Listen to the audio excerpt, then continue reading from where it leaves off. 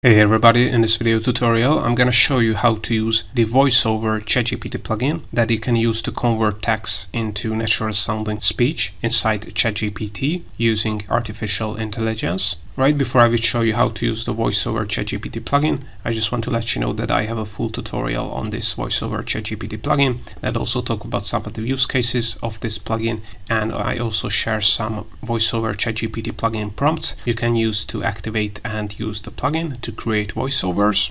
And you can also get access to a complete database of all currently available ChatGPT plugins that can be installed from the ChatGPT plugin store. You can search this plugin database by category, plugin name, description, and get quick access to ChatGPT plugin video tutorials, the best use cases and prompts for all available ChatGPT plugins. The database can be downloaded for free, but you can also support the maintenance and the frequent updates of the database with a small donation. Any support is appreciated. You can get access to this database by using the link in the description below. But now let's see a quick example on how to use the VoiceOver ChatGPT plugin. So before you would be able to interact and use the VoiceOver ChatGPT plugin to generate AI voiceovers, you have to make sure that you have enabled plugins in your ChatGPT account. And to be able to enable the plugins feature, you have to be a ChatGPT Plus subscriber. Then once you have enabled the plugins feature, you have to click on New Chat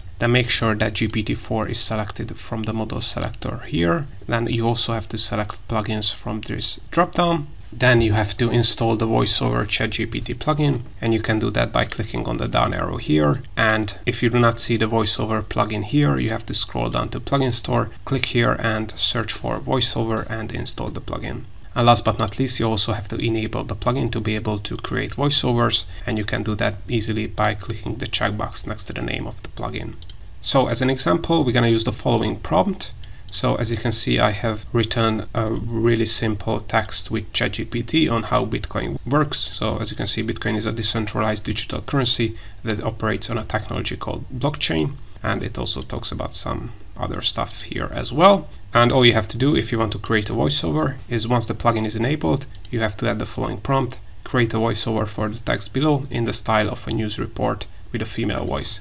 So as you can see, you can specify the voice type, the style of the, the voiceover, and then all you have to do is add the text you want to create a voiceover of. Alright, so then all you have to do is click on the send message button here.